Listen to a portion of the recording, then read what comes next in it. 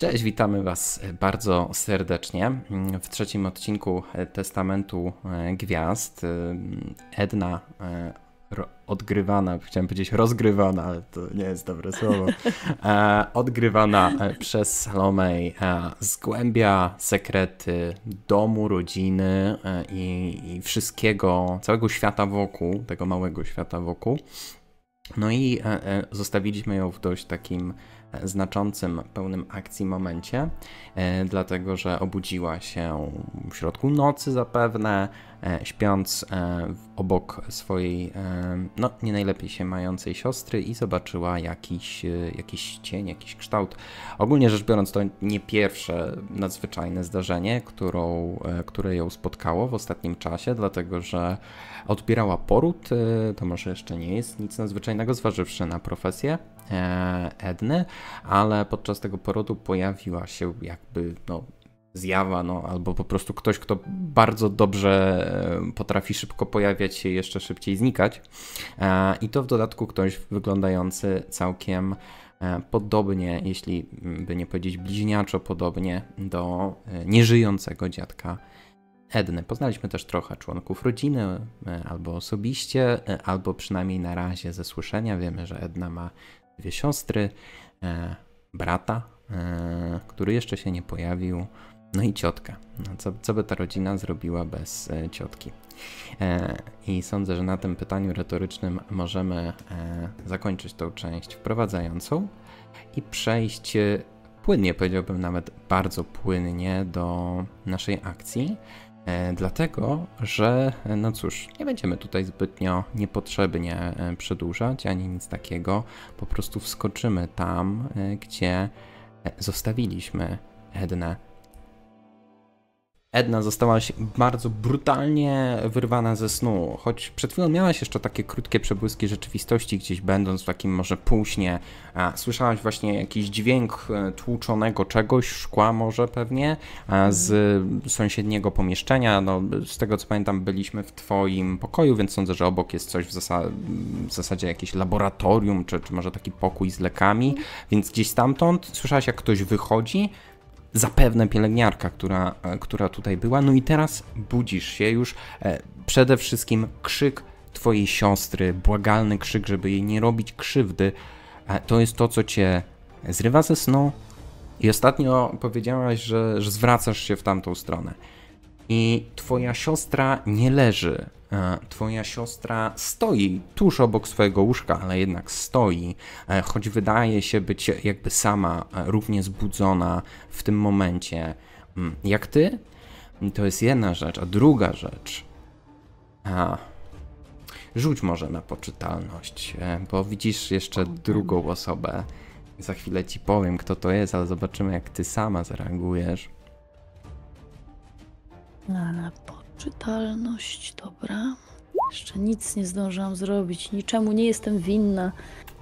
Sukces 64 na 65. Fantastycznie. Edna jak zwykle sobie e, po prostu radzi z takimi widokami, bo one no, zapewne nie są przecież jakoś mocno prawdziwe. Niemniej, e, a nie, nic nie tracisz. Nie tracisz żadnych punktów poczytalności, ale to, co widzisz, jest wciąż przerażające, jeśli uznać to za prawdę, a nie senną marę. Widzisz człowieka, bo chyba tak wypadałoby go nazwać, który jednak jest y, jakoś zdeformowany, może, może taki karykaturalnie skrzywiony. E, wydaje się być e, taki mocno jakby z garbem, zapadnięty w sobie, ma bardzo takie krzywe, e, krzywe nogi wręcz, aż trudno sobie wyobrazić, żeby człowiek mógł mieć tak zbudowaną kości i mięśnie łączące te kości. E, ubrany jest w ciężki płaszcz, który no, razem z ciemnościami, które tutaj panują, sprawiają, że nie widzisz za wiele więcej, nie widzisz dobrze jego twarzy, przynajmniej na razie. Trzyma on dwa przedmioty. W jednej dłoni trzyma zegarek, taki stary, e, kieszonkowy zegarek z, otwierany na klapkę, e, a w drugiej ręce trzyma coś, co wygląda jak bagnet albo końcówka harpuna. No, w każdym razie jest to stosunkowo długi, ostry, groźny przedmiot. Mhm. Długie ostrze, no dobra. No. I on stoi. Um, jakby jak to wygląda, jak on stoi w stosunku do mojej siostry? Czy oni stoją po tej samej stronie łóżka, czy naprzeciwko, czy jakby kogo mam bliżej? Wiesz co? Wydaje mi się, że oni oboje stoją do ciebie bokiem w podobnej albo mhm. takiej samej prawie odległości i to wygląda dość e, komicznie wręcz, dlatego że on, on ma ten bagnet, ale to nie wygląda jakby on na nią biegł i chciał ją od razu przynajmniej zabić, tylko on mhm. ma wyciągnięty zegarek w jej stronę, mhm. tą, tą dłoń zegarkiem, tak jakby po prostu, nie wiem, chciał jej pokazać jaka jest godzina, ale ona mhm. wygląda na bardzo przerażoną, ten krzyk e, sam za siebie mówi. Dla mnie, jakby osoby patrzącej z zewnątrz, zegarek jest mniej istotny niż to ostrze, a zresztą kto może wiedzieć, co się dzieje w umyśle szaleńca, w umyśle takiego człowieka, który zakrada się do szpitala w środku nocy, e, w związku z czym to ja tym razem będę krzyczeć i będę krzyczeć zostaw ją, odsuń się, co tu robisz? Ale jednocześnie chcę ruszyć w tamtą stronę i szukam czegoś, czym mogłabym się obronić, zaatakować, obojętnie, jakiegoś ciężkiego przedmiotu tutaj, y, który może leżeć w mhm. moim Sądzę, że tu mogą być też otoczeniu. ostre przedmioty, w końcu jesteśmy w szpitalu, więc może być strzykawka z igłą, może być na taki skalpel, e, chyba, że po prostu chcesz jakiś ciężki przedmiot, na przykład jakąś książkę medyczną albo, mm, albo jakiś, nie wiem, pojemnik taki metalowy z lekami, co byś wolała? Mhm. Wiesz co? E, pierwsza myśl jest taka, że e, na przykład taka metalowa taca mhm, na, na jakieś tak. leki albo na przenoszenie jakiejś rzeczy. Jakby podejrzewam, że nie miałabym tyle y, zaciętości też w sobie, żeby iść na człowieka z, ze skalpelem, ale taka taca wygląda jak coś, czym można i przyłożyć, i się w razie czego obronić. Więc chwytam jakąś, jakąś tacę, y, taką właśnie metalową, srebrną i powiem ci szczerze, że ja za wszelką cenę chcę tego człowieka od, odepchnąć od, od Betty. Mhm. W zasadzie nie jakby... wiem, kto to jest ani co robi, ale chcę go albo odepchnąć, albo go uderzyć tą tacą jakby po dłoniach, tak żeby mu wypadło z, z rąk to, co trzyma. Jakby... Mhm. Ruszasz na niego, a on jakby ci wręcz mhm. czytał w myślach e, i widzisz, że on się cofa. E, to znaczy cofa to może nie oddaje dynamizmu jego ruchu, bo on raczej się jakby odwraca napięcie i masz wrażenie, że chce uciec stąd e, przez okno, mhm. bo jakby w tamtą stronę się odwrócił, ale masz wrażenie, to wiesz, tak jak mówię, jest ciemno, ty jesteś wyrwana ze snu, więc to wszystko gdzieś jest jak za mgłą, ale masz wrażenie, że jeszcze coś jakby przykręcił w tym zegarku, jakby godzinę zmieniał, a, czy go nakręcał. Mm. Nie masz pojęcia, ale ten ruch jakiś taki, to nie jest ruch, który robi ktokolwiek, nawet szaleniec w takim momencie, nie? Ale masz mm. wrażenie, że jakby Betty w tym momencie jest jak wbita w ziemię, nie wiesz, czy, on, czy jej się coś stało złego, czy nie, Natomiast masz wrażenie, że jakby jego interakcja wobec Betty chyba się skończyła, bo najwyraźniej chce uciec. Mhm. I pytanie, co ty w, takiej, w takiej zmianie sytuacji robisz? No jeżeli on chce uciec e, i wyskoczyć przez okno, to szczerze mówiąc ja chyba mu na to pozwolę i będę raczej dbać o Betty w tej sytuacji. Mhm. Mm. Nie wiem jak się tutaj dostał, ale to jest pytanie na za chwilę. Mhm. Dobrze. Więc... Czy on wyskakuje przez to okno? Bo ja sobie wyobrażam tak, że on idzie do okna, a ja wpadam do tego, y, do tego pokoju, czy jakby staję obok niej, ale w momencie, kiedy on wyskoczy, ja będę chciała jeszcze za nim zajrzeć przez to okno, tak jakby spojrzeć dokąd biegnie. Dobrze. Więc właśnie taka scena, że, że gdzieś jak podchodzisz do Betty, to masz wrażenie, że ona jakby była no nieżywa praktycznie, w sensie, że stoi, ale chyba tylko oddycha gdzieś, może poczułaś lekko oddech na, na policzku, ale mhm. nic więcej. Natomiast kiedy patrzysz na niego, to jakby twoje spojrzenie kieruje się na to otwarte okno, na deszcz, który niczym ściana pada e, za tym oknem i ja bym to widział tak, że mm, on otwiera okno, wyskakuje dość zwinnie. Zobaczyłaś jeszcze w tych, tych jego ruchach, e, dosłownie przez ułamek, ułamek sekundy, coś takiego jeszcze bardziej pokracznego, jakby on w zasadzie e, bardziej chwiał się niż, e, niż biegł. E, I w momencie, kiedy on wyskakuje, to błyska światło, bo gdzieś daleko uderzyła błyskawica. I na przestrzale ulicy, tam dalej, za tym oknem, mhm. za terenem szpitala, widzisz obróconą do ciebie plecami sylwetkę, która jakby założyła sobie kaptur na głowę, włożyła dłonie w kieszenie i powoli szła. Jeszcze raz uderzył piorun, zobaczyłaś wyraźnie tą sylwetkę, a później, kiedy drugi raz uderzył piorun, nikogo już nie było. Oprócz tego pokracznego stwora, który gdzieś tam ucieka dalej ulicami. Mhm. Ale tego kogoś w płaszczu już nie ma. Odwracam się od okna, nie kwestionując tego, w końcu jest noc, może, może to po prostu jakiś przechodzień, który zniknął w e, alejce. No i łapię Betty za ramiona, tak jakby potrząsając nią lekko. Letty, nic ci nie jest? Słyszysz mnie? Edna. Jak dobrze, że jesteś. Nic ci nie zrobił.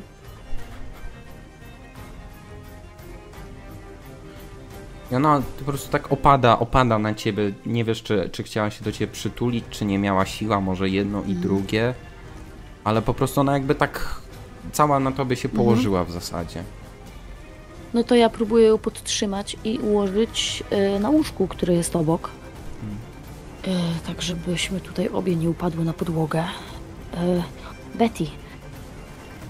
Betty, coś, co się z tobą dzieje? Usiądź, połóż się.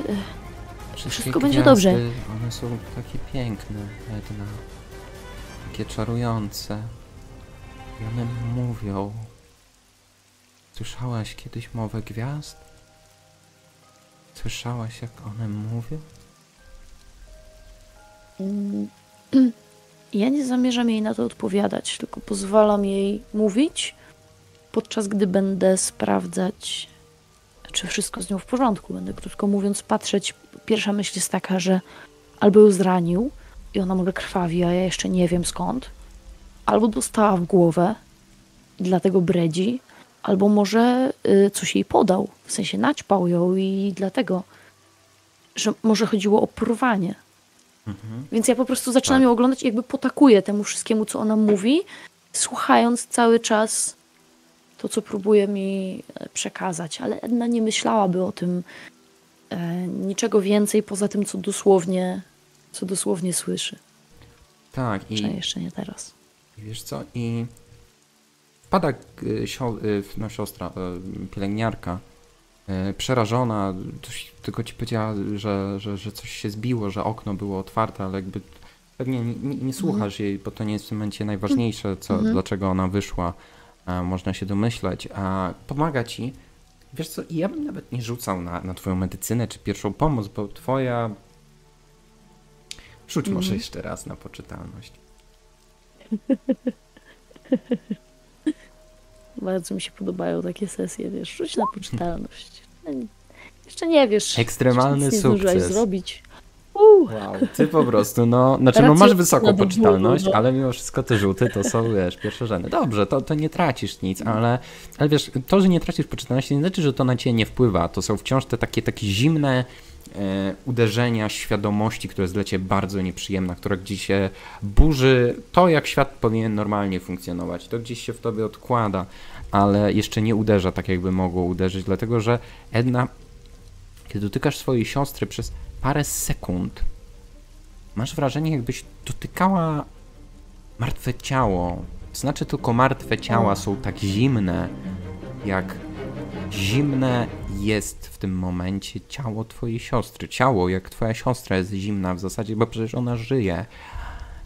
I to trwa tak pa parę chwil, nie wiem, 30 sekund, może, może wiesz, mhm. zaczynasz tak gorączkowo e, jakby dotykać ją w różnych miejscach, żeby sprawdzić, czy, czy tylko ci się wydawało, może okno jest otwarte i wieje zimny wiatr i tylko tak ci się wydaje. E, no, wytłumaczeń jest sporo, ale ta jej skóra powoli odzyskuje taką normalną temperaturę, jaką, jaką powinna mhm. mieć.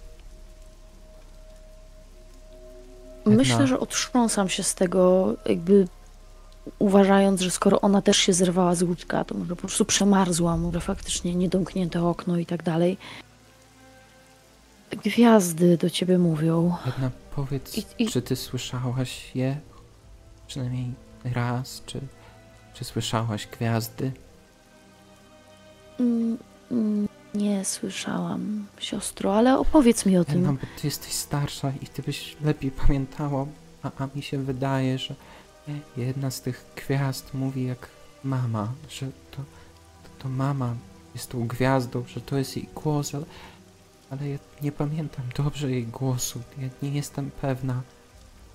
Ja ją zobaczyłam i chciałam za nią pójść, a potem wiedziałam, że tam jest śmierć, że znowu, znowu życie ze mnie uchodzi, kropla po kropli. Te gwiazdy Betty. tak pięknie mówią. Betty, spójrz na mnie. Spójrz na mnie. Pamiętaj, że ona. Ona nie żyje, ona odeszła. Już tak wiele lat temu. Ty masz jeszcze przed sobą całe życie, tak? Powiedziałam ci, obiecałam ci, że nikt ci tego nie odbierze. Że to nie będzie tak. Co... Cokolwiek czujesz, może to jakaś choroba, może to nie wiem, co to jest, siostro, ale zajmę się tobą i, i wszystko będzie dobrze. Edna, Tu był mężczyzna. Widziałaś tego mężczyznę? Widziałaś go kiedyś wcześniej? to zjawa, to ten wampir, który pożera ze mnie życie. Nigdy nie mogę go złapać, jest zawsze krok przede mną. Ja każdą noc jestem bliżej śmierci.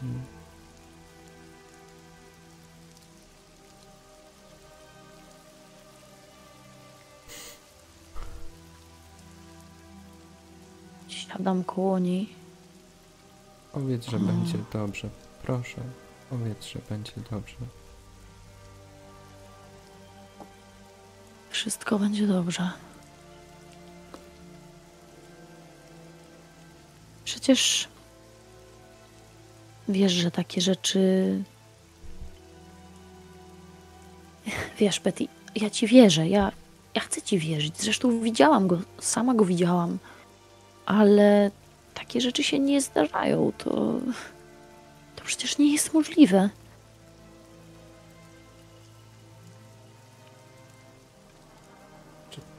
Przeczytałaś to zdanie, to otchłani. To zdanie o tym, że kiedy patrzymy w otchłań, to ona patrzy na nas, prawda? Tak, zdaje się, że ten wpis bardzo mocno poruszył Twoją wyobraźnię, bo był wyraźnie podkreślony w książce.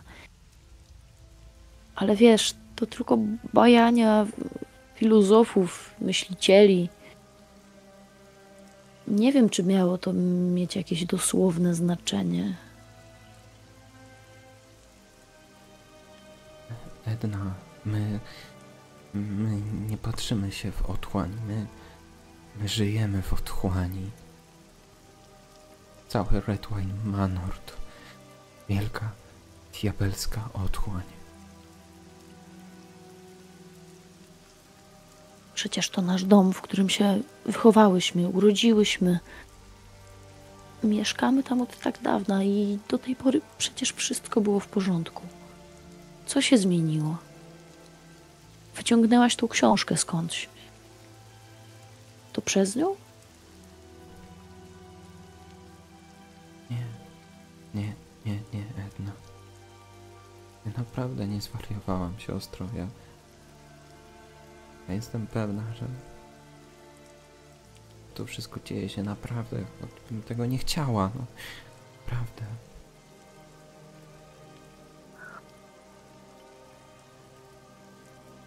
Co mam zrobić? Powiedz mi. Co mam zrobić? Ten człowiek, ta zjawa, jak go nazywasz, te dziwne sny, mówiące gwiazdy i, i głos mamy. Czy to wszystko zaczęło się wtedy, kiedy zaczęłaś czytać tą książkę? Czy może wcześniej albo później? Nie, książkę zaczęłam czytać po tym, jak to się już zaczęło. Ja wiesz, ja, ja, ja nie pamiętam, kiedy to się zaczęło, ale to jest naprawdę krótko. Wydaje mi się, że kiedy pojawił się temat zorganizowania tego przyjęcia, nie wiem, tydzień temu, hmm. pięć dni temu, jakoś tak. Mhm. W początku myślałem, że to tylko koszmar, ale jedna noc, druga noc. Czułam, jak to na mnie wpływa. Słuchaj. Dla mojego własnego spokoju. Jak przyjdzie poranek, zrobimy ci wszystkie niezbędne badania, żeby sprawdzić, czy to aby nie przypadkiem jakiś sposób, w jaki twój organizm próbuje nam powiedzieć, że coś jest nie tak. Że może jesteś na coś chora. Może po prostu trzeba to wszystko zbadać dokładniej. Może poproszę, poproszę lekarza, poproszę Simona, żeby jeszcze na ciebie spojrzał i i może od tego będę, będę spokojniejsza. Jeżeli tobie zaczęły się dziać takie rzeczy, dlaczego nikomu innemu nic się nie przydarzyło? Ja nie miałam żadnych dziwnych snów. Służba, nikt też o niczym takim nie wspominał, a ciotki ani ojca nawet nie pytałam.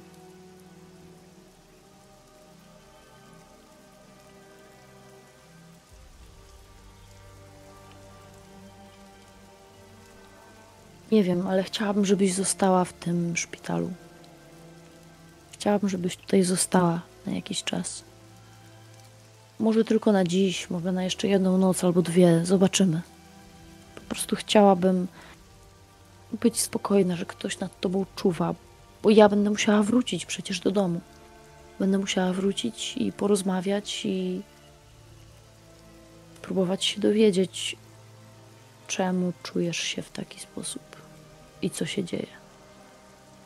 Rzuć na perswazję. Mhm. Wiesz, zakładam, że to może być dla niej dobra rzecz, bo to ona nie chciała wracać do domu, ale tak, zobaczymy. Nawet nie o to chodzi, czy, czy jakby ona wróci do domu, bo to nie sądzę. A... U, porażka. U, porażka.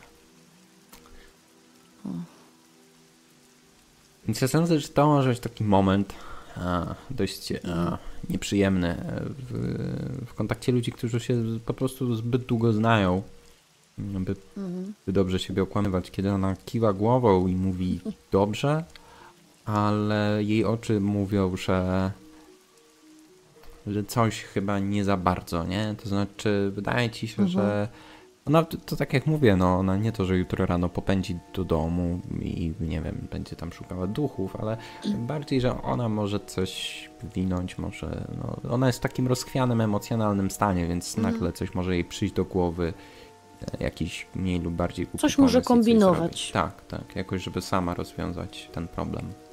Mhm. A właśnie, skoro już i tak nie śpimy, zdaje mi się, że jak odjeżdżałyśmy spod domu, to że widziałam Larę, która przyjechała.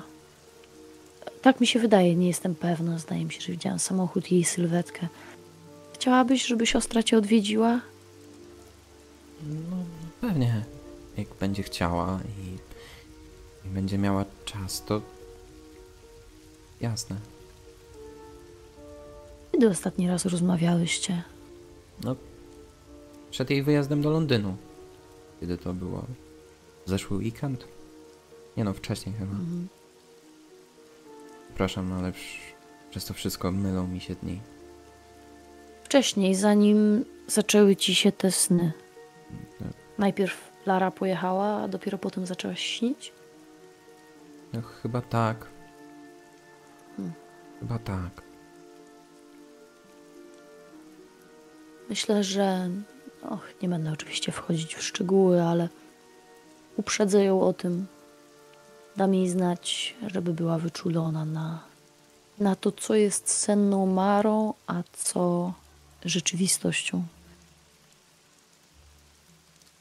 Tak, żeby może tak, koniecznie. opowiedziała mi następnego ranka, jeżeli coś jej się przyśni, a wy, bliźnięta, czasem tak macie.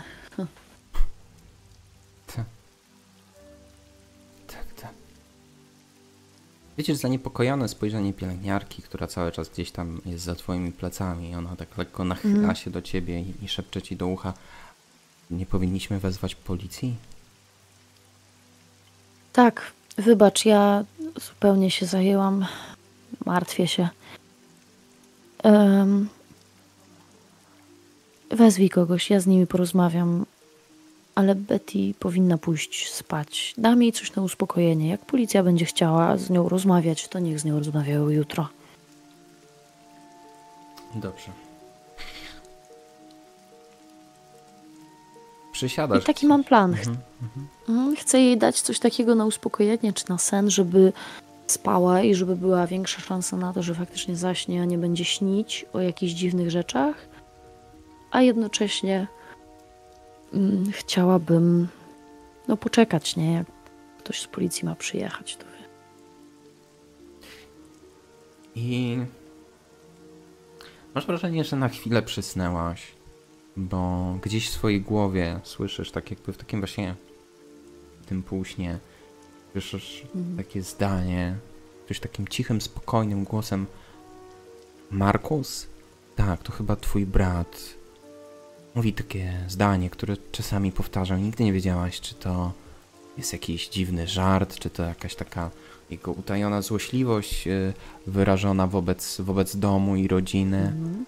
Usłyszysz to zdanie, które mówił tam ściany szepczą stare złe historie, odliczając sekundy do nowej, złej, największej, złej.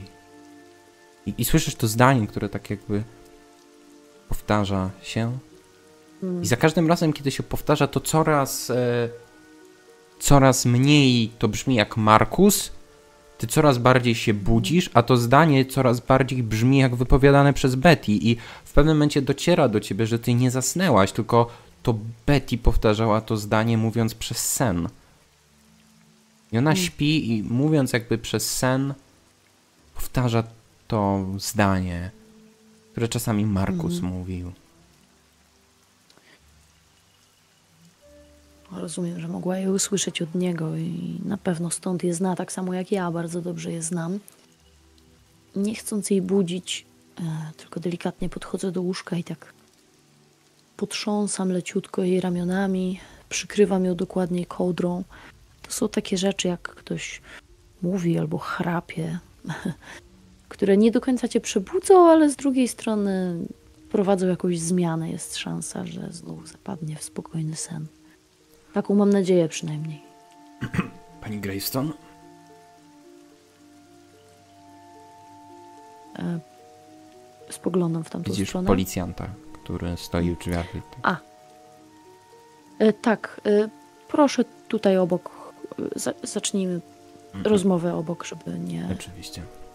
Nie zakłócać snu mojej siostry. Oczywiście. Dobry wieczór, chociaż nie wiem, czy to dobre określenie w tym przypadku.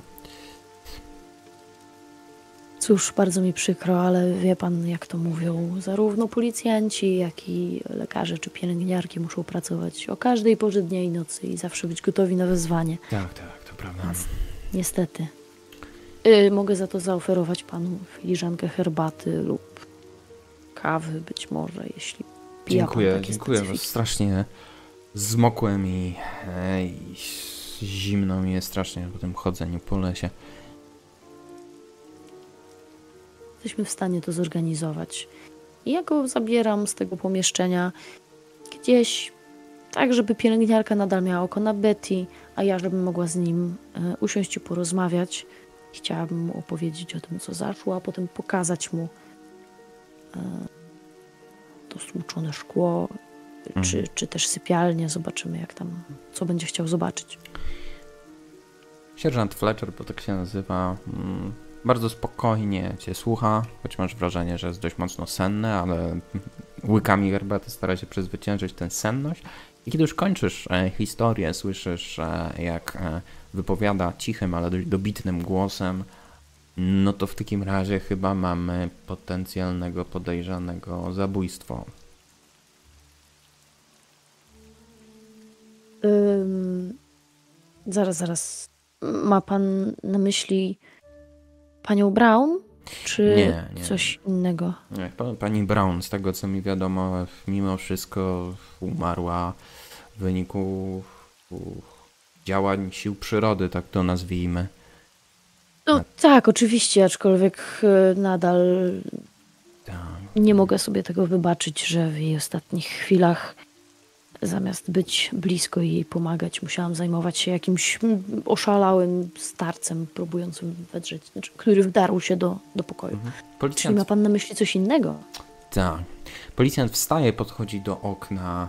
Sądzę, że siedzicie w takiej lekkiej ciemni, jakaś taka jedna niewielka lampka e, o, o, olejna się pali. On podchodzi do tego okna, trzyma filiżankę i patrzy się w nocne ciemności, tak jakby chciał coś stamtąd wypatrzyć przez tą ścianę deszczu i mówi tak, e, tak jak wspominałem, chodziłem po lesie, nie, nie dlatego, że lubię, tylko dlatego, że w lesie znaleźliśmy trupa.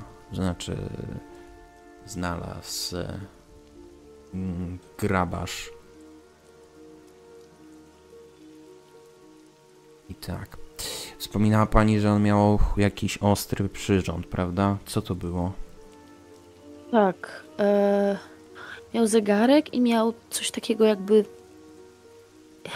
Chciałoby się powiedzieć, że sztylet, ale sztylet ma krótsze ostrze i, i rączkę, a to wyglądało jakby całe było ostrzem. Wie Hmm. pan, tak jak, tak jak coś, co się montuje, te bagnety te na przykład. Ale Zresztą jest nie wiem, pani nie znam pewna? się, może to jest był- pani pewna, że to nie był nóż? Taki lekko zakrzywiony Może. nóż? Mógł być jakiś długi nóż. Też nie bardzo miałam okazji się mu przyjrzeć. Zdaje mi się po prostu, że miał jakieś długie ostrze. Ale bardziej mógł być, czy mógł nie być? Tak pani zdaniem. Próbuję sobie to przypomnieć, ale podejrzewam, że jeżeli było ciemno, ciężko mi było jego w ogóle zobaczyć.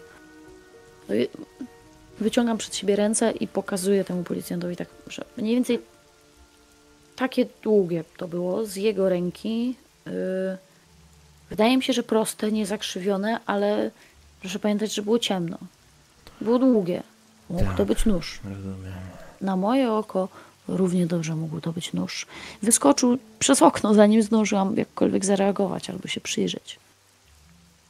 Nie widziałam nawet jego twarzy.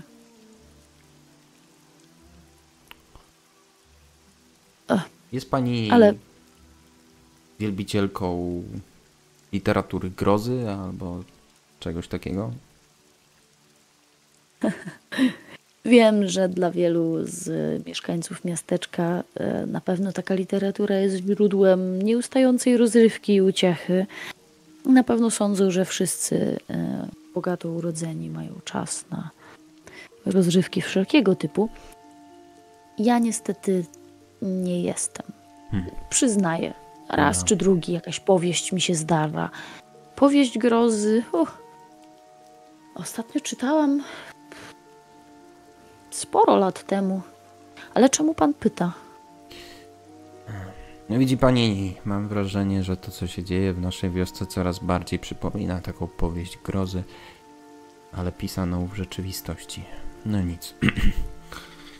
Ale zaraz, zaraz, nie może pan tak y, rzucać y, wskazówkami i, i zostawiać mnie z niczym. Proszę mi powiedzieć, y, kto zginął? Wie pani, ja chciałbym bardzo wiedzieć. To znaczy, inaczej. Wiem, kto zginął z tożsamości, ale nie mam pojęcia dlaczego i jak się tu znalazł, bo. No, No cóż, nie wypada mi zadać nawet pytanie pani, ale mogę powiedzieć, że była to prostytutka z okolic Londynu. Nie będę panią pytał, czy coś pani o tym wie, bo to by była obraza, ale. Ale To została jedno, zamordowana drugie, że- w wyjątkowo paskudny sposób. Mm. Czy jej ciało jest już tutaj u nas w szpitalu? Zostało przywiezione, czy jeszcze Tak. jest gdzieś tam Bóg jeden wie gdzie w lesie? Tak, tak, wzięliśmy tą biedaczkę. Ale nie wiem, czy to jest dobry widok na noc. Och, o tej porze marę już tylko o tym, żeby dopić gorącą herbatę i złapać jeszcze chociaż kilka godzin. Nawet godzinę czy dwie na pewno postawiłyby mnie na nogi. To naprawdę ciężka noc dla nas wszystkich. Tak. Widzi pani, on tak zrobił jakby krok, żeby wyjść, ale w pewnym momencie się zatrzymał. Widzi pani, trochę już pracuję w tym fachu i no spokojna okolica, ale mimo wszystko widziałam różne rzeczy. Widziałam mordy z tego, że ktoś był wyjątkowo zły, ale nie do końca chciał kogoś zabić. Po prostu jeden czy dwa ruchy po człowieku. Widziałem mordy z zemsty. Widziałem parę zabójstw w wyniku pijackich burd. Oglądałem różne albumy.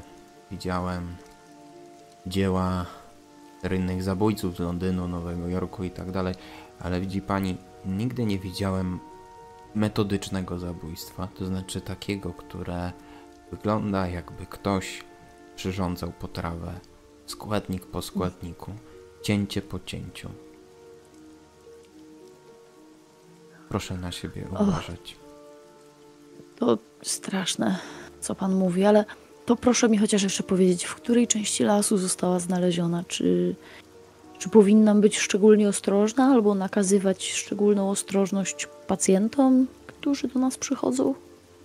Może to już tylko twoja wyobraźnia zbytnio e, poruszona tym wszystkim, co się dzieje, ale masz wrażenie, że sekundę przed tym, kiedy padła odpowiedź gdzieś daleko, trzasnął piorun i razem z niosącym się hukiem piorunu za okna usłyszałaś blisko cmentarza.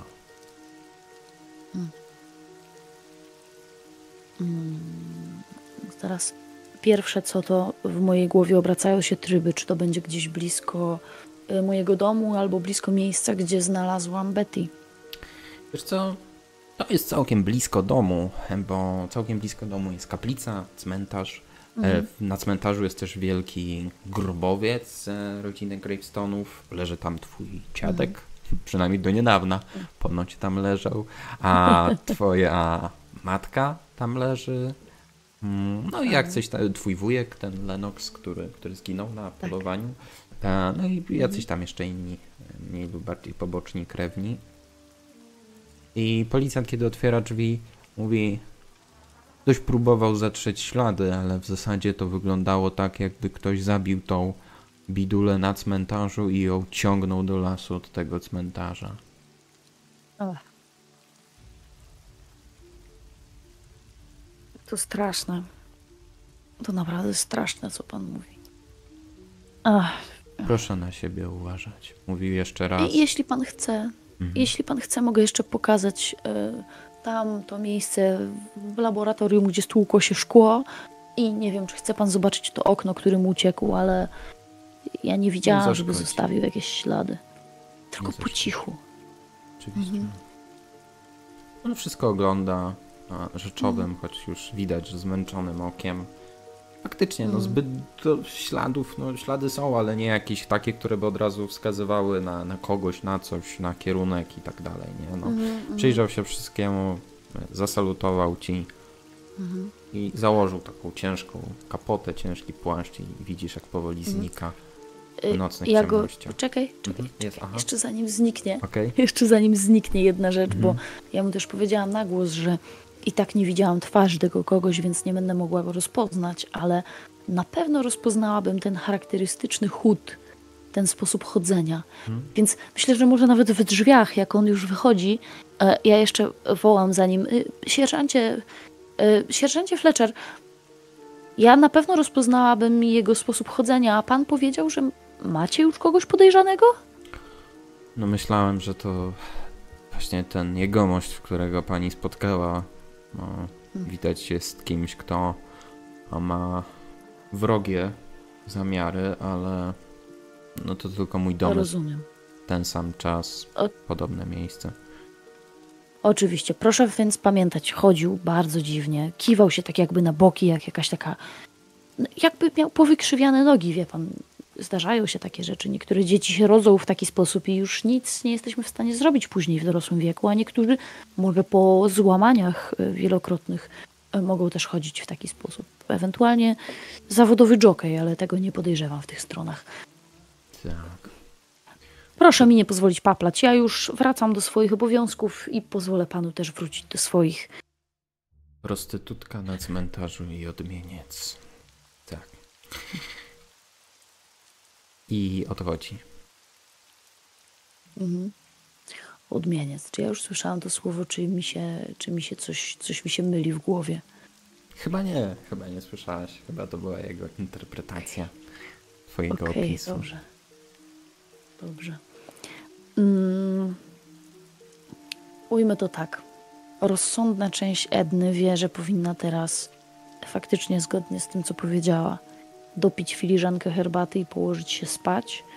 Nierozsądna część Edny myśli sobie, że to ciało tam na dole w y, piwnicy szpitala nie będzie tam leżeć w nieskończoność, a jutro pewnie się zaroi od policjantów, od nie wiem, potencjalnie jakiejś rodziny czy znajomych, e, być może od innych mieszkańców albo personelu, cholera wie kogo i czego jeszcze. No i że może to mm, utrudnić ewentualne zobaczenie jej. A jeżeli została zamordowana na cmentarzu tak blisko domu, ja bym chciała to zobaczyć na własne oczy. Chciałabym nie musieć się domyślać, kiedy pójdę na cmentarz, popatrzeć na ślady krwi, zobaczyć, czy ma to związek z którymś z grobów. Już nawet w swojej głowie nie chcę myśleć, że może mieć związek z naszym grobowcem i z Aaronem Gravestone'em. Chociaż taka rzecz przechodzi mi też przez myśl. Tak czy siak, kiedy tam pójdę, nie chcę sobie wyobrażać, co zrobiono tej dziewczynie. Chcę to zobaczyć na własne oczy i po prostu wiedzieć. Lepiej jest wiedzieć i znać nawet najgorszą z prawd, niż pozostawić się na pastwę domysłów, które czasem bywają zdecydowanie dziksze i paskudniejsze od prawdy. Mhm. Edna, to rzuć w takim razie na medycynę.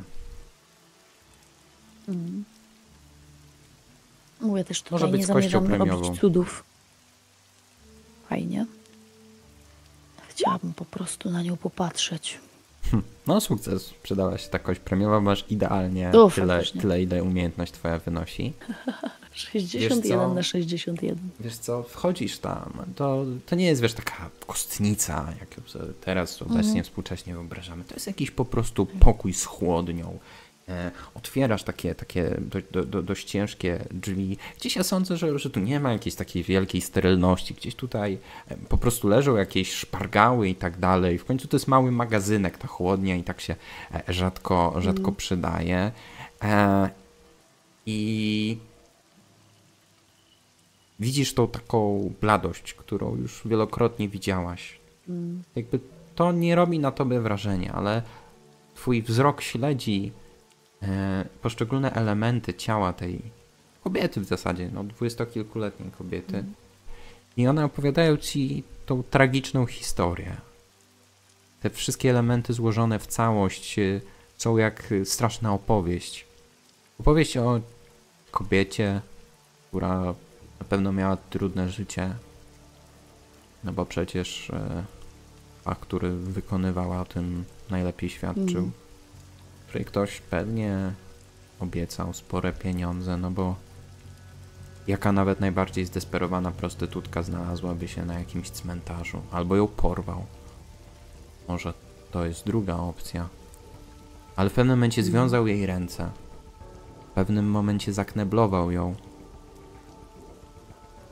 I ona albo od razu, albo po jakimś czasie zaczęła walczyć o życie bo wiedziała, że ona ma zginąć. Mm. Szarpała, próbowała, widać to na śladach jej nadgarstku, próbowała jakoś te więzy, które miała na rękach, pol poluzować, zdjąć, ale się nie udało chyba. bo leży teraz tutaj, a nie jest gdzieś na policji. Widzisz cięcia, drobne cięcia, których są, powiedziałabyś, może nawet setki. Ktoś bardzo spokojnie ciął ją kawałek po kawałku, delikatnie, tak żeby nie wypłynęło za dużo krwi, żeby za szybko nie zginęła. Tak żeby powoli, metodycznie i słyszysz może teraz w swojej głowie głos Betty. Kropla po kropli uchodziło z niej życie. W pewnym momencie ktoś zatopił, jak się domyślasz pewnie na samym końcu, nóż o właśnie zakrzywionym ostrzu. Wiesz, że to na pewno nie jest to ostrze, którym dysponował tamten gość. A teraz jesteś tego pewna. Ktoś zatopił to ostrze i wyrysował tym ostrzem w sercu tej, znaczy no, w, w miejscu, w którym jest serce tej dziewczyny, krwawy ślad. Krwawy ślad, który za wiele ci nie przypomina. W zasadzie nie przypomina ci niczego, ale wygląda właśnie, właśnie tak. Możesz zobaczyć na, na rolu. E, Widzowie też mogą spojrzeć. E, Ten symbol nie jest dla Was, widzowie, za, za dobrze widoczny, bo on jest ciemny, na, na ciemnym tle, ale pojawił się nad, ty, nad tytułem, jeśli go nie zauważyliście. Krótko mówiąc, jest to taka falująca pionowa linia kończąca się kółkiem i dwie falujące poziome linie przecinające ją.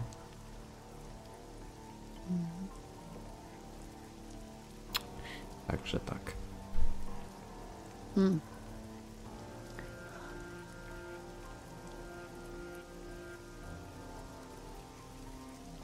Oglądam to ciało, jakby notując w głowie różne szczegóły, notując w głowie, ile miała lat, że równie dobrze na tym e, szpitalnym łóżku, tej nawet nie kostnicy, ile jakiejś takiej chłodni, równie dobrze mogłaby leżeć moja siostra. Betty i Lara. Obie mają około dwudziestki. Są pięknymi, młodymi kobietami, które miały bardzo dobry start w życiu, e, w sensie finansowym, w sensie pozycji, edukacji i wszelkich szans, jakie tylko były dostępne. One to wszystko miały i dzięki temu i dzięki temu żadna z nich tutaj nie leży, ale nie jednej nie jednej dziewczynie był pisany taki los. Niektóre faktycznie skuszone dużymi pieniędzmi i pustymi obietnicami. Inne z braku perspektyw, z biedy, może jeszcze z jakichś zupełnie nieznanych mi powodów, bo przecież ja, Edna Gravestone, też nie leżę i nie leżałam w takiej sytuacji na takim łożu. Też mimo wszystko, mimo pewnych przeciwności losu, nie musiałam pracować w ten sposób. Byłam bezpieczna, miałam pieniądze. Ha, nie musiałabym nawet pracować tutaj, gdyby nie to, że chcę. Więc oglądam tą dziewczynę, tak jakby zapamiętując jej twarz, mm, która przypomina mi twarze pacjentek, twarze innych kobiet, które przychodzą do nas. Oglądam trochę całe jej ciało, tak jakby szukając, szukając innych śladów. Wiesz co, zastanawia mnie, tak rzeczowo mówiąc, czy na przykład widać na jej ciele jakieś sińce albo wzrosty na kościach po złamaniach.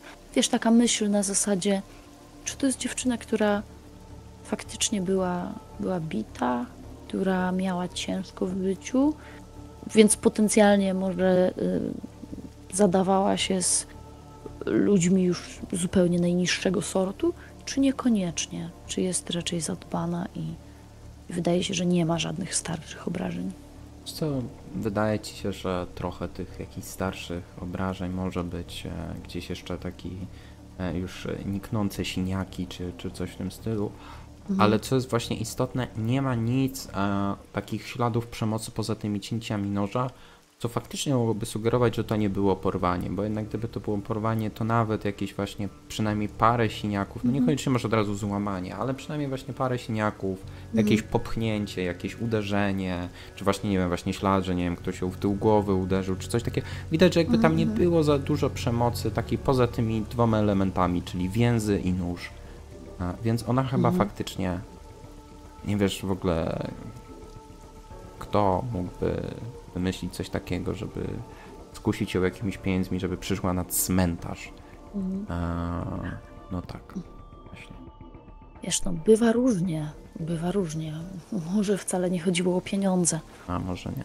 Może znała tutaj kogoś, może to w ogóle nie było związane z jej zajęciem, a może było związane z czymś zupełnie innym. Jeszcze jedna rzecz, którą chciałabym sprawdzić, to mm, spojrzeć na jej paznokcie, spojrzeć na jej twarz i na jej zęby. Bo to jest jakaś taka. Chciałabym potwierdzić sobie tą wersję, którą wszyscy przyjęli, że to jest prostytutka z Londynu, że to jest biedna dziewczyna, która parała się takim, a nie innym zawodem. Wiesz, w sumie skąd oni to wiedzą? Ktoś ją rozpoznał, ktoś ją zidentyfikował? Nie wiem, może tak ale dla mnie jedyne co usłyszałam to to, że policja znalazła ciało kobiety w lesie, zmasakrowane i że założyli, że to prostytutka. Moja myśl jest taka, że chcę po prostu zobaczyć, czy na przykład miała zadbane ładne zęby, którymi ktoś się zajmował, czy raczej widoczne ślady próchnicy, mm, czy też jakieś zęby, które zostały wyrwane i niczym nie zastąpione. Jakby chcę po prostu popatrzeć, czy to jest dziewczyna z biedniejszej warstwy społecznej, czy może jednak z trochę lepszego e, urodzenia. Wydaje się, ktoś się pomylił. Wydaje ci się, że ona mm, raczej pochodzi z biednej warstwy społecznej, ale ostatnio mhm. pojawiły się pieniądze w jej życiu i, i, mogła zacząć o siebie dbać, więc na przykład zęby gdzieś na przykład z przodu widzisz, że są gdzieś tam trochę wybielone, może nawet jakiś jeden ząb zastąpiony mhm. protezą, ale gdzieś na przykład bardziej po bokach jest już trochę gorzej. Tak jakby te, te zęby już mhm. jeszcze czekały na nowe pieniądze. A, więc więc takie, takie szczegóły gdzieś, gdzieś też coś takiego ci okay. ci pokazują. Nie wiesz, czy coś jeszcze przy niej było, no bo tu jest tylko jej ciało. Nie wiesz, czy coś jeszcze przy niej no było, właśnie. torebka i tak dalej, coś w kieszeniach. Rzeczy, ale rozumiem, że to jest, no, to jest policji, że to jest wszystko na policji. Tak, no, mhm. jednak ty nie jesteś częścią tego śledztwa, więc no jakby... E, no nie, ja tak sobie tylko a zaglądam z ciekawości z związanej z, tak, związanej właśnie z tym miejscem też, nie? Że trochę mnie to niepokoi. Wiesz, i kiedy się, kiedy się tak pochylasz, mhm. co jakiś czas słyszysz takie trzeszczenie yy, z korytarza. Tu jest korytarz, załóżmy, że jest jeszcze kotłownia, mhm. piwnica i schody na górę, nie? I to po trzecie pomieszczenie, w którym ty jesteś. To jeszcze, wiesz, takie przez chwilę, nie wiem, może, może szczury, może coś, ale co jakiś czas takie lekkie uderzenie i, i po, po trzecim takim odgłosie Masz wrażenie, że po korytarzu chodzi ktoś, kto ma laskę. Hmm. Spokojnie przechadza się, uderzając miarowo swoją laską o posadzkę.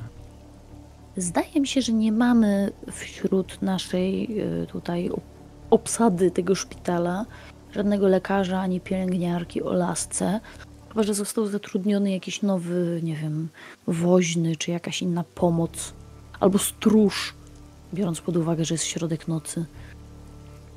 A przynajmniej tak to sobie Edna tłumaczy, wspominając Arona, Arona Gravestone'a i tę zjawę, którą widziała, bo jakby nie patrzeć, mężczyzna miał w ręku laskę. Tak. Chciałabym zakryć z powrotem ciało dziewczyny prześcieradłem i przełykając głośno ślinę, wyjść na korytarz, wrócić do siebie, yy, święcie przekonana, że wszystko jest w porządku i jestem na swoim miejscu, jestem w miejscu, które uważam za dom, w którym czuję się pewnie i jeżeli ktoś powinien się przejmować, to on, a nie ja. Tak, tak, tak sobie mówisz. Tak zamierza tak sobie, podejść do tego Edna. Tak, tak może sobie wręcz wmawiasz, ale gdzieś ta świadomość taka, mm. jak, jak ten taki głos racjonalności mówi, że jest środek, no może już nie środek, już może zbliża się świt, ale jest noc. Jesteś sama w Mhm. piwnicy. Nikt nawet nie usłyszy twojego krzyku. Nie wiesz, kto tam jest. Ostatnio dużo złych ludzi kręci się po tej okolicy. Jakby zbliżasz się powoli, jakby mówisz sobie, że to jest Y, jakby... Tym razem, Mhm.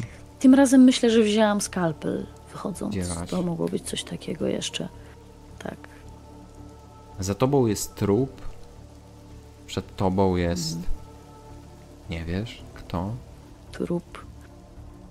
Tak, tak pomyślałaś sobie.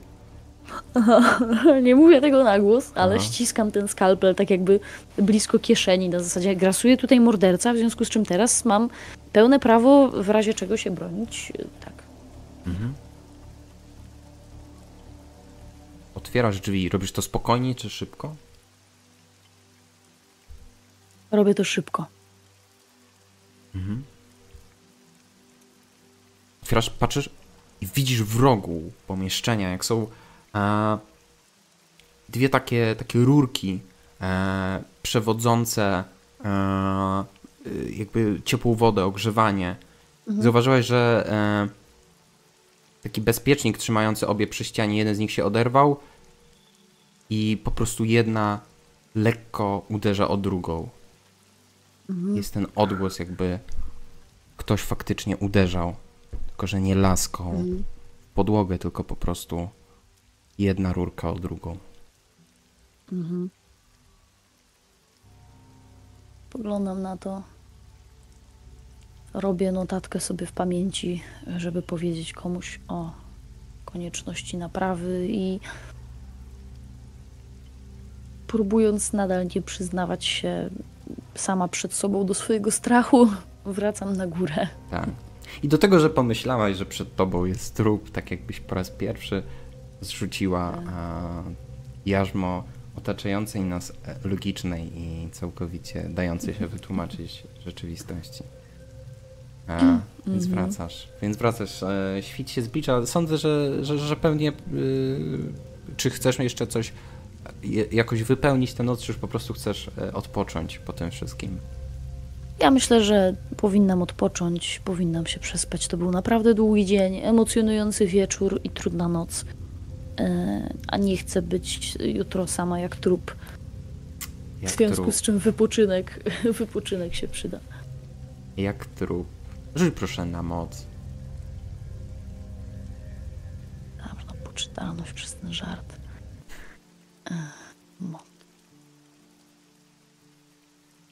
Ekstremalny sukces. No proszę. Nic na mnie nie masz. Nie, nie, 6 nie. na 65. Śpisz spokojnie. Nic nie przerywa twojego snu, nic go nie narusza. A nie wchodzi w, z buciorami jakiś koszmar, czy reminis- reminiscencje tego, co się wydarzyło. Otwierasz w końcu oczy, budzi cię słońce, tak. Oczywiście nieśmiałe, lekko wyzierające ze chmur, ale jednak słońce. Mhm. Masz taką przez chwilę głowę jak cegła, gdzieś pewnie twój wzrok pada na zegar z taki z kukułką przy drzwiach w tym gabinecie i widzisz, że już jest jedenasta przed południem. Mhm. Ale dalej się czujesz całkowicie gorzej, jakbyś była na kacu. Najgorzej. Um.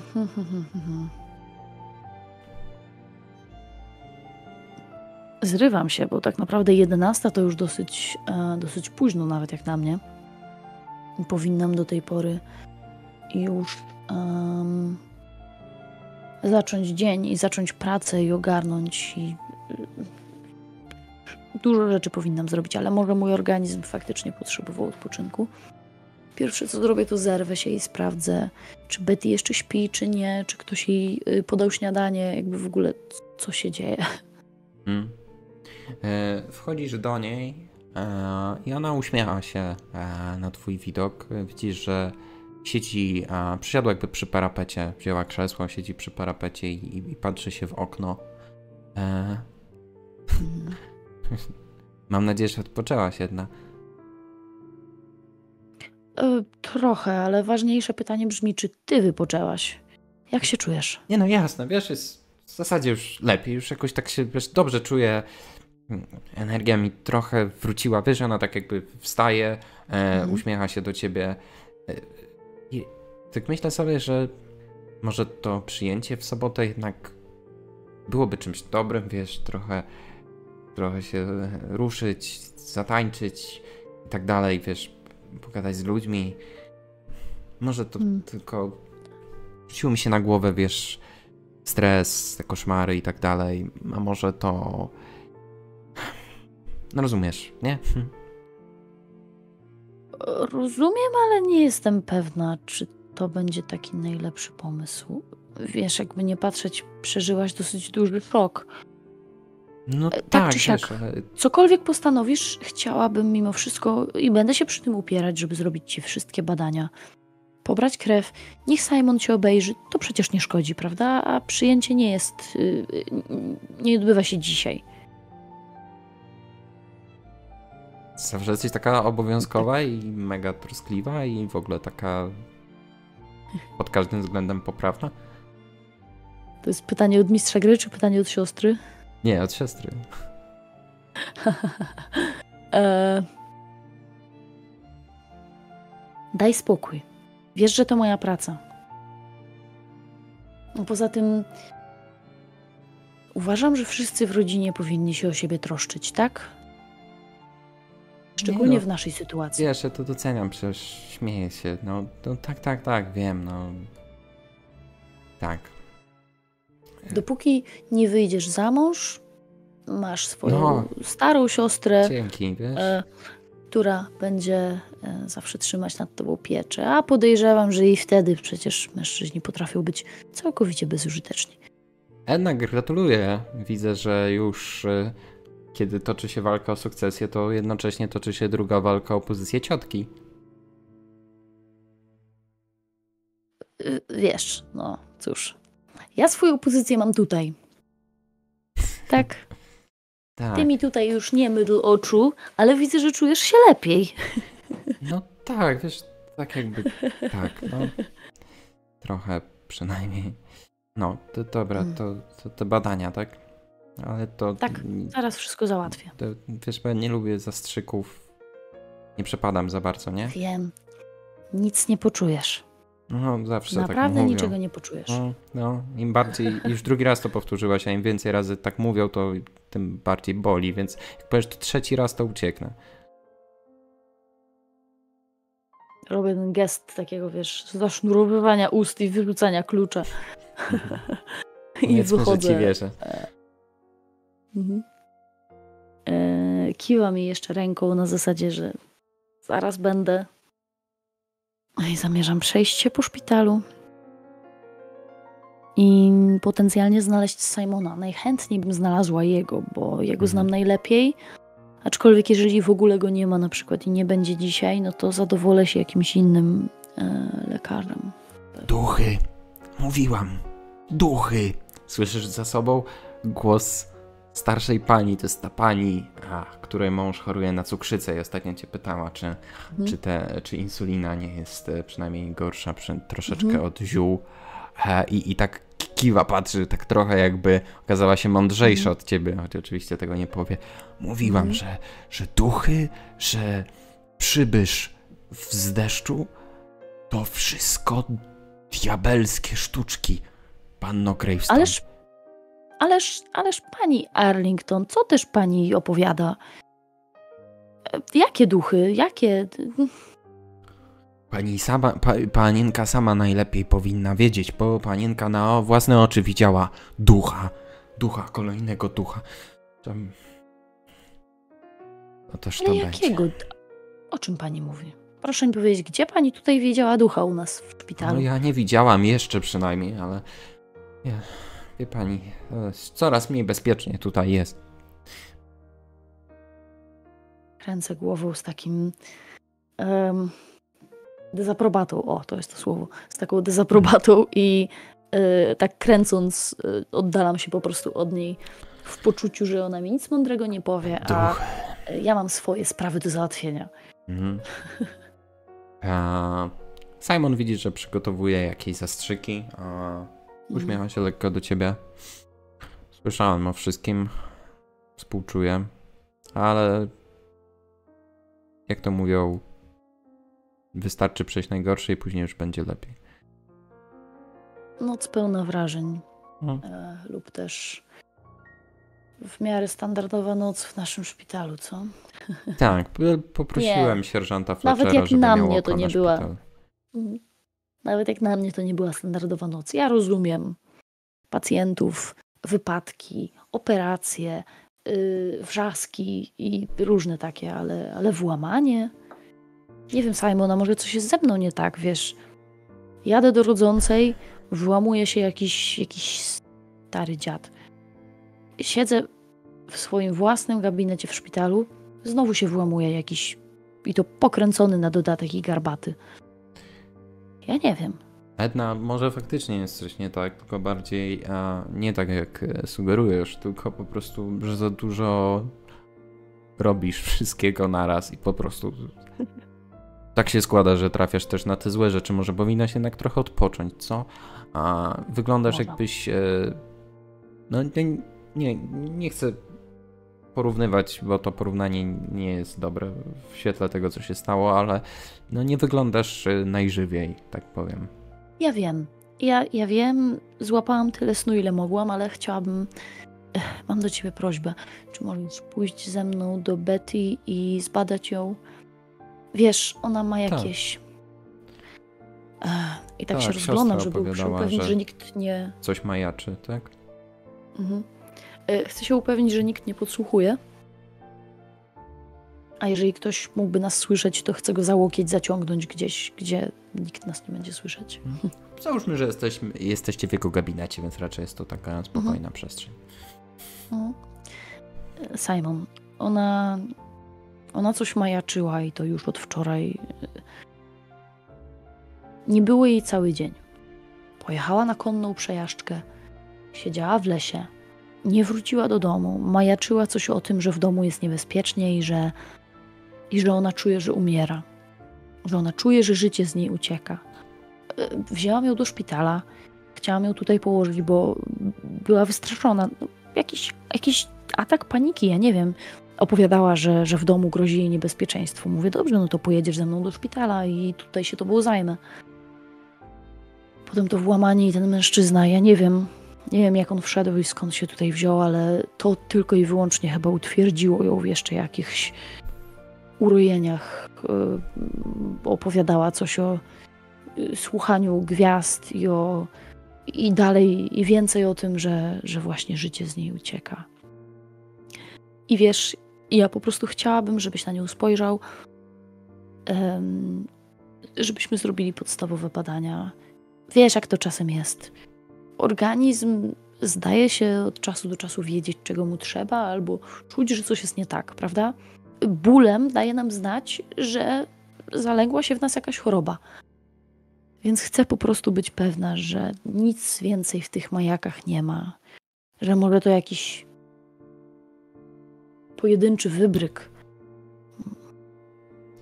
Łapiesz dla spokojności. Łapiesz spojrzenie Simona jakby co do zasady się z tobą zgadza, nie? Wiadomo, że, że to co mówisz to jest tak obiektywnie rzecz biorąc prawda, że, że jakby stan fizyczny może mhm. też prowadzić do, do takich sytuacji, ale masz wrażenie, że jest coś, że on nie do końca się z tobą zgadza akurat, że w tym przypadku tak jest, ale masz wrażenie, że trochę mhm. obawia się to powiedzieć na głos, ale tak wychwytujesz taką, taką jakby lekki opór w jego spojrzeniu, kiedy gdzieś się pochyla nad mhm. kartką i tam zapisuje jakieś recepty czy coś takiego.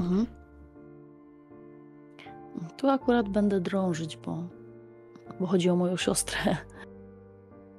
E... Masz jakąś teorię na ten temat?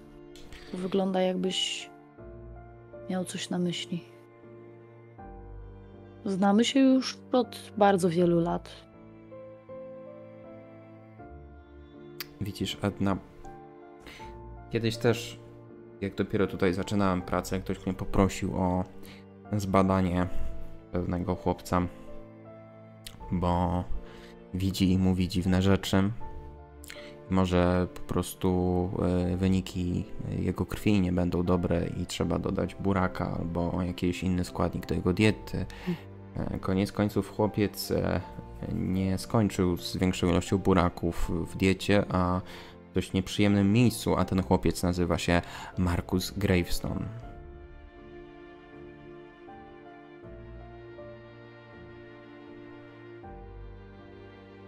Odwracam się od niego takim jakby obronnym gestem, trochę nie chcąc pokazać, że, że mnie to dotknęło, trochę nie chcąc, żeby widział mój wyraz twarzy. Ale czy Markus bredził coś o wyciekającym z nim życiu kropla po kropli? I znowu patrzę na Simona. Czy mówił coś o tym, że y, słyszy gwiazdy, które do niego przemawiają? I... Nie, to robiła Podobne? inna pacjentka. Inna pacjentka? Poza Betty? Ja tego ci nie mogę powiedzieć, bo ja wtedy jeszcze nie pracowałem jako lekarz, ale słyszałem to od doktora Pierce'a. Wiesz, że doktor Pierce to był poprzedni lekarz. Mhm. Edna, ja, nie chcę mówić bolesne rzeczy, ale jestem lekarzem i czasami muszę. Twoja matka przed śmiercią całkowicie oszalała. Mówiła jakieś dziwne rzeczy o gwiazdach, o o ratowaniu rodziny i tak dalej, e, o tym, że jej życie jest ofiarą, coś takiego. A później, tuż przed śmiercią, kiedy jej stan się pogorszył, to twój ojciec i twoja ciotka e, nie wpuścili lekarza. Nie wpuścili doktora Pierce'a, żeby ją zbadał. Po prostu powiedzieli, że matka nie potrzebuje pomocy i faktycznie niedługo później już nie potrzebowała pomocy, bo nie żyła. Ale Edna, trochę za dużo tych przypadków szaleństwa w jednej rodzinie.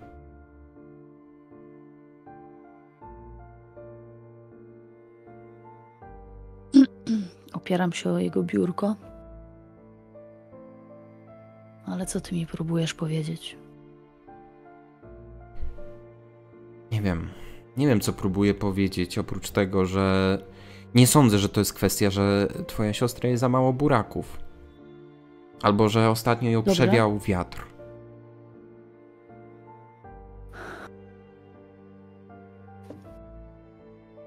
Wiesz, dlaczego nie wściekam się teraz na ciebie? I dlaczego nie wybiegam stąd z hukiem i z trzaskiem drzwi? Są dwa powody. Jeden jest taki, że mam do ciebie mnóstwo szacunku, że zaufałeś mi, uczyłeś mnie, jesteś i będziesz zawsze dla mnie mentorem i przyjacielem. Drugi jest taki, że Betty powiedziała o tym, że wycieka z niej życie, że kropla po kropli. Powiedziała też, że dokładnie tak samo było z mamą. I zapytała mnie, a co jeśli umrę tak jak ona?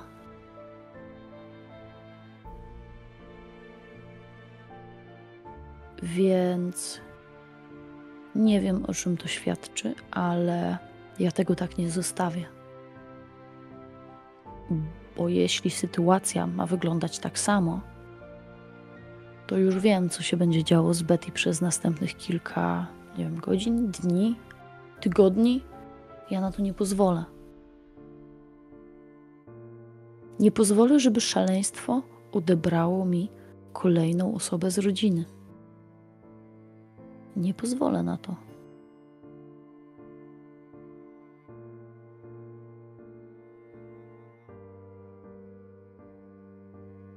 Powiedz mi, ten doktor Pierce, on jeszcze żyje? A może zostawił jakieś notatki? Może w szpitalu powinny być przecież akta poprzednich spraw. Daj mi chwilę. No jakby tak idzie do, do takiej jakby bardzo starej szafki. Bodajże najstarszej szafki e, w całym tym pokoju. Zastawionej innymi szafkami. Tak, zastawionej innymi szafkami. Wyciąga po prostu, mam takie, takie wiele, to jest zwały kurzu, takie lecą. A, mhm. I w pewnym momencie wyjmuje stamtąd y, taką teczkę. No i jest to teczka twojej, twojej matki. Mhm. On się e, przygląda, otwiera to, to widzi, że takie, takie pióro e, z bardzo mm, no, takim, można by powiedzieć, e, wysokim stylem, takim bardzo wiktoriańskim stylem pisania. Ktoś mm. naprawdę się przykładał, żeby prowadzić te rejestry elegancko. Mhm.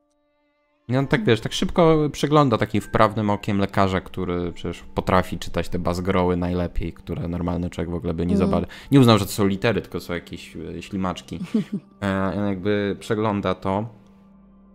Ci referuje, że, że stan twojej matki był bardzo dobry, że tak naprawdę praktycznie nigdy nie, nie odwiedzała szpitala, przychodni.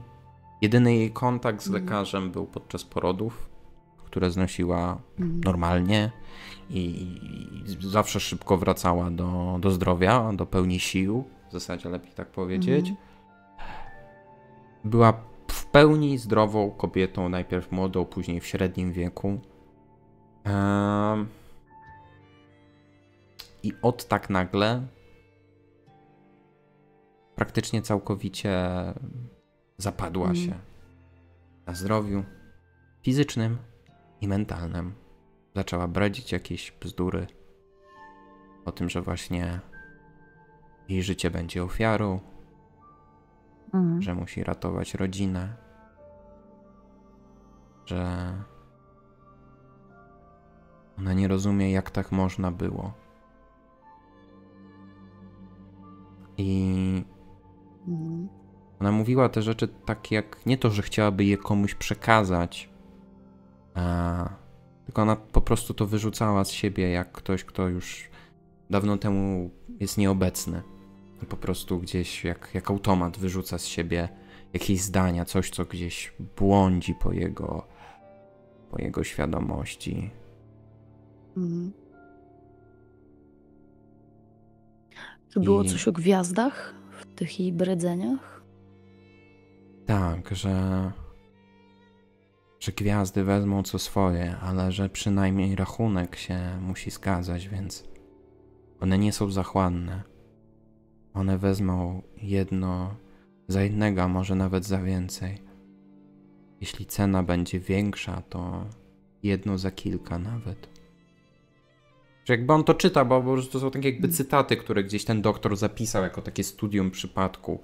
Takie, żeby pokazać mniej mhm. więcej, co, co pacjentka mówiła, w, jakim, w jaką stronę szły te, no bo jakby napisał, po prostu mówiła dziwne rzeczy, no to pod dziwne rzeczy można podpiąć 1500 tak. rzeczy, nie?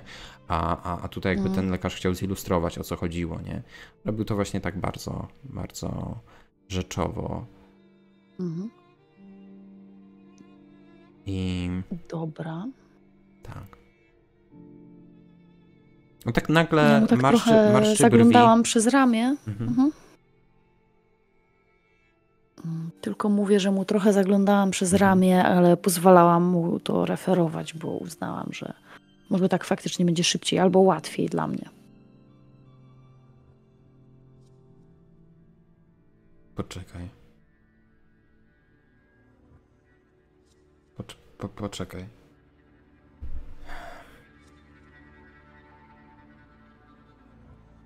On, on jakby coś tam napotkał, jakby wstaje od, od e, mhm. biurka, podchodzi do, do, do tej e, szafki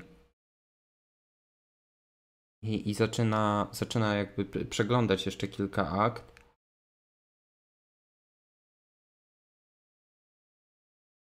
Coś, coś mi tu nie pasuje.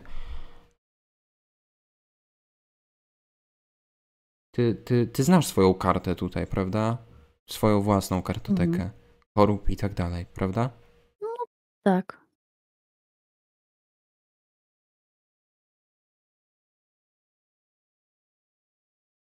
Czy chorowałaś na coś, jak byłaś dzieckiem?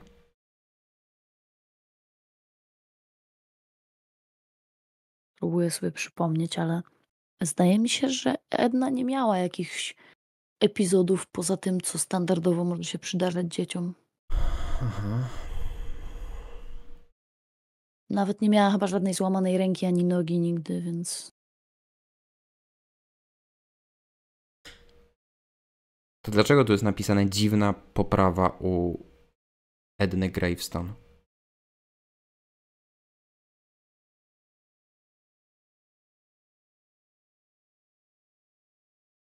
Pierwszy słyszę.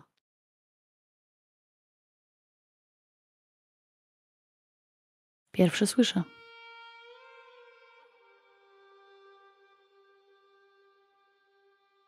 Już trochę lat musiałabym wtedy mieć, nie? No. Um... Czekaj, czekaj. Kiedy to było? Chciałabym porównać daty, żeby zobaczyć. Um... Ile ja mogłam mieć wtedy lat? I, i, I co? Ile lat to było po tym moim wypadku z Markusem? Wiesz co? No. Sądzę, że no ty byłaś najstarszą z rodzeństwa, ale ty jakby wy się Około, rodziliście mhm. w niedługich odstępach, więc no chyba tego nie, nie ustalaliśmy, ile lat miałaś, kiedy matka umarła, ale sądzę, że, że nie wiem, 8-9 lat to maks, ile sądzę mogłaś mieć, nie? To, to, to nie, było, nie byłaś już jakąś wtedy w ogóle nastolatką, tylko sądzę, że, że bardziej tyle. E, natomiast od e, wypadku e, z Markusem mm, rok, może dwa, Mm, jakoś No tak. tak, bo wypadek. Wypadek miał miejsce, jak mieliśmy. Ja chyba miałam z 7 lat, tak mi się wydaje, że tak ustaliliśmy. No, coś Coś takiego. takiego, więc. Więc właśnie 7, 8, 9 to jakoś tak się te odstępie A niech powiedzmy około. będzie 9-10, bo ja tam Tak. miałam być jeszcze trochę starsza od tych bliźniaczek, ale to już nie będziemy się tam rozdrabniać, nie? Dobra. O. No słuchaj, no, no nie pamiętam, ale możemy zajrzeć do mojej karty, wiesz, jak się ma 8 czy 10 lat, to człowiek też nie pamięta wszystkiego perfekcyjnie. Moja będzie w tych y, najświeższych plikach. Zaraz, zaraz to ogarnę. No i Mhm. będę chciała wyciągnąć moją całą kartotekę szpitalną. I dopiero teraz, jakby jak ją przy, przeglądasz z tą świadomością, to dopiero teraz dostrzegasz, że coś tutaj nie gra. Kiedyś tak jakby wydawało ci się wszystko naturalne. Jest wpis jakby o twoich urodzinach, e, o, o jakichś tam e, no, no, no pojedynczych e, infekcjach gdzieś w takim właśnie wieku, tym powiedzmy do, do, do bycia nastolatką. Ale teraz jak na to patrzysz, to wszystko Mhm. wygląda jakoś tak bardzo sztucznie. Tak jakby spisane Mhm. no, do, do sztuki, do teatralnej, tak jakby ktoś przy, przygotowywał e, po prostu jakiś e, sprawny rekwizyt i, i teraz taka myśl, Standardowy plik. tak, i trochę to wygląda tak jakby już usunął całą twoją kartotekę gdzieś właśnie do tego dziesiątego roku życia, zrobił Mhm. coś, co jakby wygląda tak, jak taka najbardziej przeciętna, powiedzielibyśmy randomowa kartoteka po prostu dziecka do 10 roku życia, a później już jest naturalnie. Mhm. To, co faktycznie Mhm. jakieś tam miałaś różne rzeczy. No tak, bo jeżeli to by było tak spisane, to po pierwsze wszystko by było pisane, jakby widać by było, że jednym ciągiem, em, w sensie tym samym na przykład piórem, e, tym samym kolorem atramentu, podobnym charakterem pisma. I jeżeli mój tajemniczy, nazwijmy to, wypadek z Markusem miał miejsce jakiś czas wcześniej, ja myślę, że ja mogłam nawet e, odbyć jakąś wizytę do lekarza wtedy. Po tym dziwnym wypadku. Że wiesz, może miałam jakieś zadrapania, albo Mhm. byłam jakaś przeziębiona. I Mhm. byłaby historia tego. Tak. A domyślam się, że tutaj tego nie ma. No nie, no i pewnie nigdy się nad tym nie zastanawiałeś, to nie szukałeś jakichś takich, takich No. pierdół w zasadzie, nie? Ale teraz jak o tym myślisz, to faktycznie braku, brakuje czegoś takiego, nie? Marszczę brwi i. No i mówię o tym Simonowi.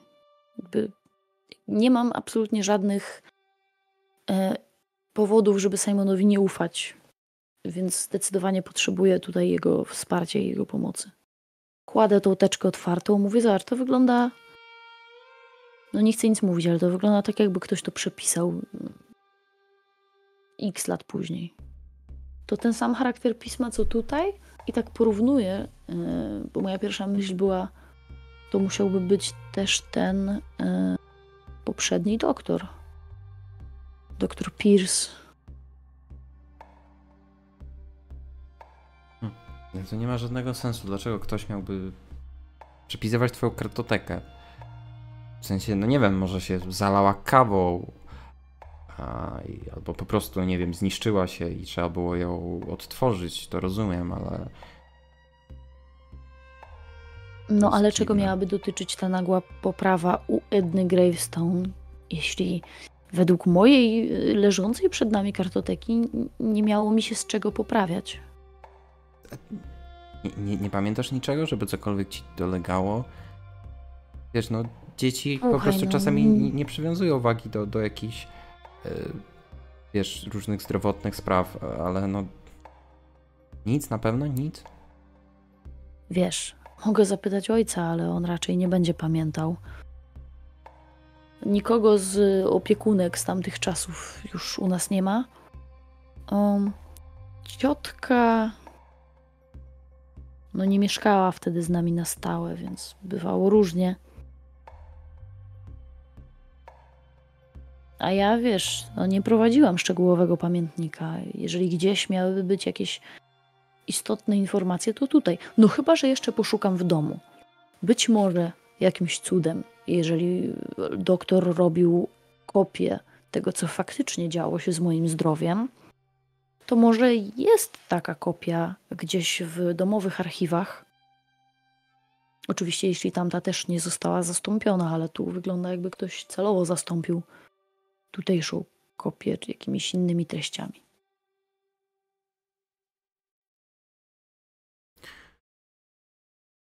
To jest Dobrze.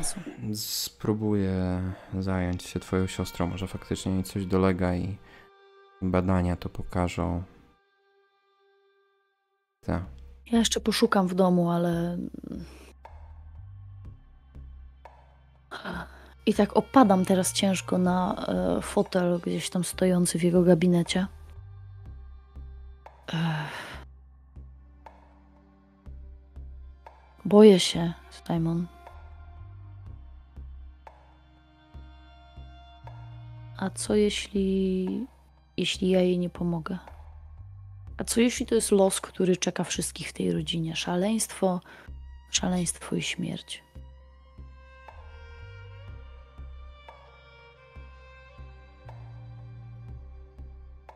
I wiesz, i do swojego przyjaciela, drucha, kogoś, kto jakby, no, często ci, ci pomagał w jakichś trudniejszych chwilach, to oczekiwałeś, że, że dużo różnych rzeczy może powiedzieć. Ale zobaczyłeś jakby taką dziwną mętność w jego oczach, jakby sam był nie do końca przytomny.